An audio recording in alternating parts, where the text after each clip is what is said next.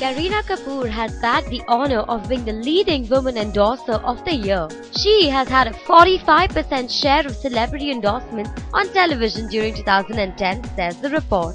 The actress has featured alongside three popular male celebrities, MS Dhoni, Shah Rukh Khan and Sachin Tendulkar. She currently endorses a telecom brand, a laptop brand, a fast food brand and a jewelry brand among the others. As far as movies are concerned, the actress has Karan Johar's We Are Family, her boyfriend Saif Ali Khan's home production Agent Vinod and Golmaal 3 in hand.